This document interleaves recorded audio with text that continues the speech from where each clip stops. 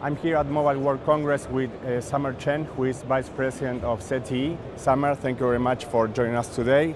So you have just concluded a presentation in which you talk about 5G, industrial 5G and smart manufacturing. Mm -hmm. How important are those technologies and applications for ZTE and why? So that's a very interesting uh, um, especially for me. Mm-hmm. Um, I'm a, used to be a chief engineer for wireless solutions, so I witnessed the uh, technical from 2G to 5G. So at now, 5G is a quite, quite a topic, but these days we are more focused on the 5G applications, especially in vertical enterprise for the applications. So um, this time in this unit uh, remote control stadium, uh, we are focused on discussing what kind of 5G can bring to the verticals. So um, actually ZTE is uh, quite not just provide the 5G equipment for the network side for the operators. We now, we set up a kind of 5G uh, platform. It's uh, easily to be a rapid replication for the verticals and even different verticals like uh, energy, transportation, and for mining or metallurgy and agriculture, all kinds of verticals. So it can be uh, bringing a lot of value for our vertical customers. And uh, the most important thing, especially for the manufacturing, because ZTE, we have our own manufacturing center. Yeah. So um, our target is make this vertical evolution for the enterprise is more easy and low cost effective for our customer to easy to deploy this kind of 5G application.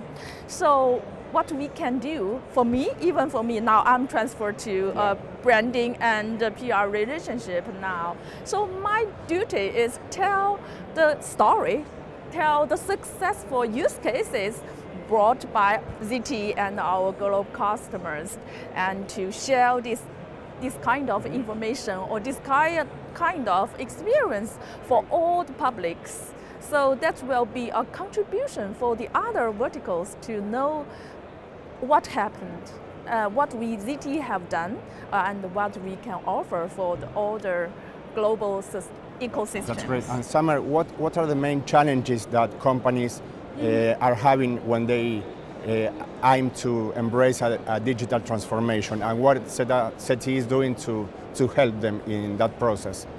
Yeah, for, for enterprise, when they're thinking they want to make a digitalization, mm -hmm. the most important thing is when, how, and uh, how much. Uh -huh. Yeah, uh, normally we thinking uh, you should be, uh, take care about the scenario, choose the scenarios, which one is the route driven to uh, making this happen, to bring most sustainable value for the uh, start point.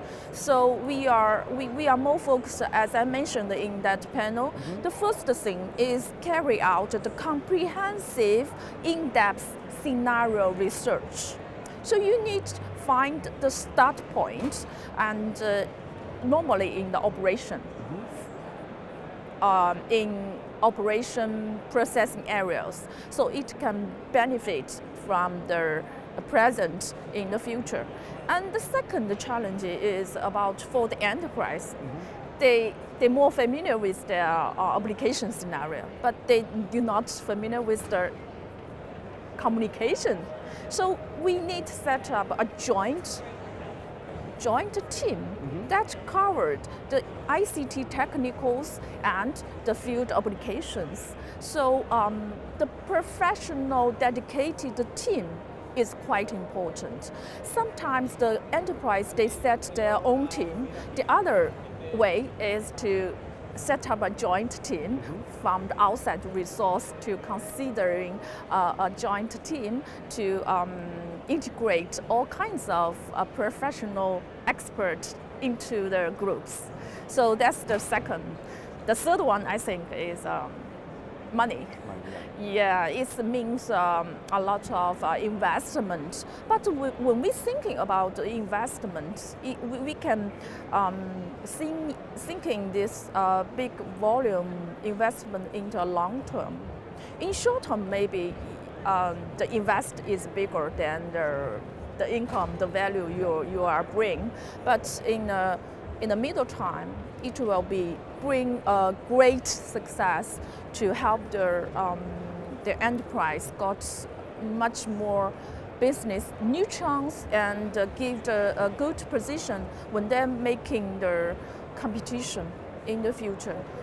The most important thing is after this um, digitalization, you need uh, you got the benefit mm -hmm. to to facing the challenges. It's move fast and to change fast and to got the cost reduction, to got the uh, quality improvement and the uh, efficiency mm -hmm. is uh, enhancement. I think this is quite important. Right. last question, uh, summary is about the 5G manufacturing base you have in Nanjing. Mm -hmm. Can you talk a, little, a little bit more about that? Okay.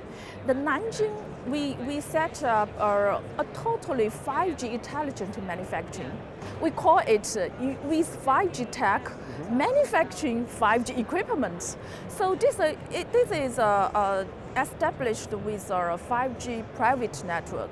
We set up a minimal 5G IC, I, 5, 5G GC, and uh, 5G native cloud radio um, for the AGV, mm -hmm. PLC, and uh, machine vision.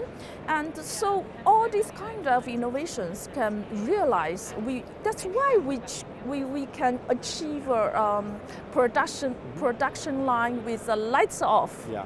Lights off.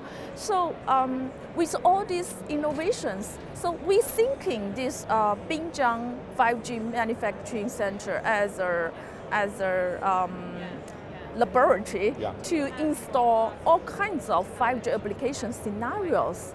So it can really bring our manufacturing to a flexible manufacturing. Because this is uh, quite uh, important for, for today's competition, you're facing different requirements, uh, facing global customers, the demands. So it's the fragments and the diverse demand requirements. So it gives us ability to quite respond for our requirements. So as I mentioned in the panel, we have uh, achieved uh, average output per person to 113%, percent and our delivery cycle time is shortened by 24%.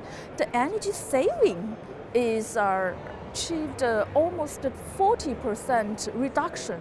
So this is a quite a good example for the whole ecosystem to making the power, e e power saving and emission reduction. And it's uh, uh, for, for the, the global customer to visiting our 5G factory, they saw these changes and they making the digital transformation more confidence yeah. to show.